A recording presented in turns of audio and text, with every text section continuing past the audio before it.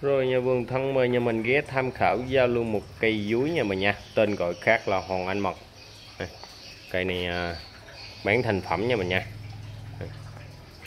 Cây nhỏ rất kia là duyên luôn. Dàn chân rễ quái nè Nó đơm vào nhau nè, nó quyện vào nhau Tay cành ok hết rồi nha. Quái luôn. Cái này có mã số là 993 Có tổng số đo hoành là 25 nha. Cao là 30 đang nằm à, cái chậu à, lọt lọc lòng là 29 nha. Tán ngang là 50 Cái này nhà vườn xin giao lưu nhanh với nhà mình luôn. 950 bao ship nhà mình nha. Một cây dúi hòn anh mọc nhà mình. Cái thành phẩm rồi. Mini, rất chi là khéo luôn nhà mình. Dàn chân rễ này. Nó đơm, nó quyện vào nhau nè. Rất là quái luôn nha.